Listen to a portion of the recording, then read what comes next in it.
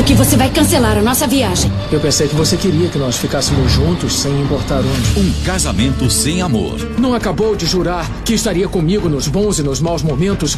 Isso inclui o trabalho. Teresa é puro interesse. Eu não preciso de todo o seu amor, Arthur. Eu só preciso de todo o seu dinheiro. Nesta quarta, 5 e 15 da tarde. Ai, eu gostei desse aqui. Que cor prefere? Ai, eu não tenho certeza. Então vou levar todos. Tereza.